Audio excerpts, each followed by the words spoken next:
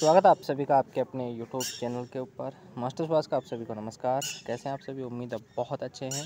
और आप सभी के लिए खुशखबरी है, जिनका अभी तक ज्वाइनिंग नहीं आया था। एक नई लिस्ट और आ चुकी है।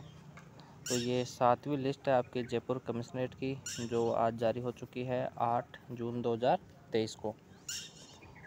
इस लिस्ट में जिनका भी नाम आ चुका है, लगभग ट्वेंटी कैंडिडेट का इसके अंदर ज्वाइनिंग लेटर आया है। जिसका भी इस लिस्ट के अंदर नाम आ चुका है, उन सभी को मास्टर स्वास की तरफ़ से बहुत बहुत शुभकामनाएँ। आप जल्दी से जाके अपनी ज्वाइनिंग कर सकते हो और ज्वाइनिंग डेट भी आपको दे रखी है कि आपको जो लास्ट डेट है वो आपको बता रखी है कि 16 जून 2023 तक आप पुलिस कमिश्नरेट के अंदर अपना ज्वाइनिंग लेटर प्राप्त करके पुलिस लाइन चांदपोल के अंदर आप अपनी ज्वाइनिंग कर सकते हैं। जो भी टर्म्स ऑफ़ कंडीशन आपको दे रखी है, ये ऊपर का जो पैराग्राफ है, इसके अंदर आपको बता रखा है कि आपकी जो विज्ञप्ति थी, उसके अंदर कब विज्ञप्ति आई थी, कब आपका एग्ज़ाम हुआ था, कब आपकी रनिंग हुई थी, उसके बाद में का जो प्रोसेस था, आपका डॉक्यूमेंट और आपका स्वास्थ्य प्रशिक्षण वो सभी चीज़ें सही पाई जाने के बाद में आपकी ज्वाइनिंग जारी की गई है। तो सबसे पहले आपको जाना है जयपुर कमिश्नरेट के अंदर, ठीक है? जो एम रोड के ऊपर है, गवर्नमेंट हॉस्टल के पास में। वहाँ आपको room number eighty nine. Room number eighty nine के अंदर जाना है। साथ में जो डॉक्यूमेंट आपको आधार कार्ड, कैरी करके साथ में लेके जाना है, वो आधार कार्ड आपसे मांगा जाएगा। वो आप अपना आधार कार्ड दिखा देना और अपना ज्वाइनिंग प्राप्त कर लेना। वहाँ से आपको कुछ पेपर्स के ऊपर साइन करवाएँगे, उसके बाद में आपको ज्वाइनिंग लेटर दे देंगे। उस ज्वाइनिंग को लेके आपको आना है पुलिस लाइन चांदपोल के अंदर। वहाँ आपको वो लेटर दिखाओगे तो वहाँ पी वगैरह होंगे जो आपकी ज्वाइनिंग करवा देंगे।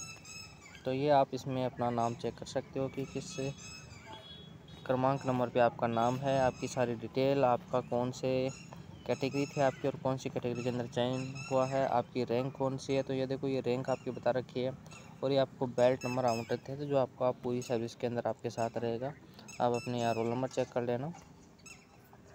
कंप्लीट इन्फॉर्मेशन आपको दे रखी है इस वीडियो के अंदर और नीचे आपको कुछ बता रखा है कि आपकी जो आपका वेतन पे है वो आपको चौदह हज़ार छः सौ रुपये मिलेगा। जो अभी हमारा जो वेतन आ रहा है, वो आ रहा है चौदह हज़ार, सॉरी, तेरह हज़ार चार सौ पैंतीस रुपये। ठीक है?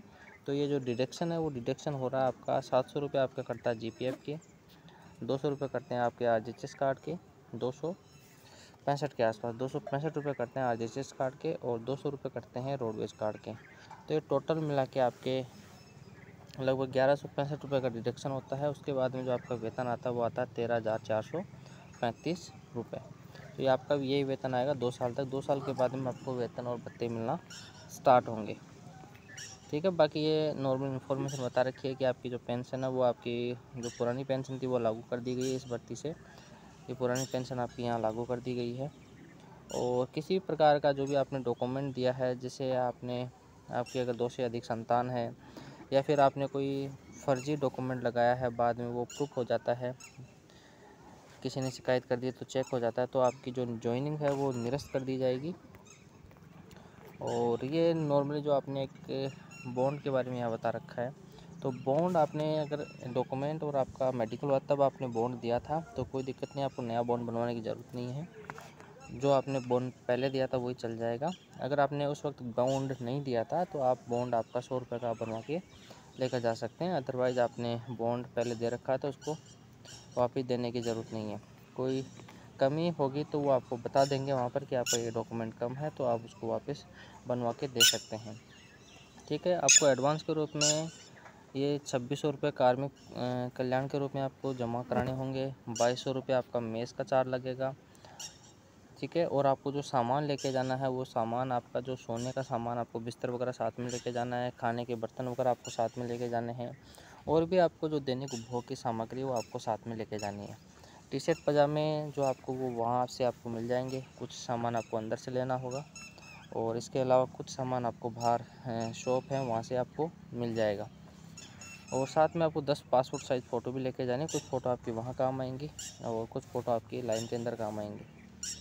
तो इस वीडियो में इतना ही, मिलते हैं नेक्स्ट वीडियो में और एक बार फिर से आप सभी को बहुत बहुत शुभकामनाएँ। जल्दी से जाके आप ज्वाइनिंग करना और ज्वाइनिंग से अगर आप लेट हो जाते हो कि अगर आपको कोई काम है या फिर कोई और आपको प्रॉब्लम है कि 16 जून तक आप ज्वाइनिंग नहीं कर सकते हो तो उसके बाद में भी आप जाके ज्वाइनिंग कर सकते हो, तब आपको एसपी के सामने पेश किया जाएगा और जो भी आपका वैलिड रीज़न है वो आपको उनको बताना होगा और आपकी ज्वाइनिंग वो करवा देंगे। तो कोशिश करना आपकी सोलह से पहले पहले कर लो, सारे काम छोड़ के उसके बाद में आप छुट्टी लेके जा सकते हो या फिर एबसेंट हो सकते हो तो उसका कोई ख़ास फ़र्क नहीं पड़ता आपकी सर्विस के ऊपर।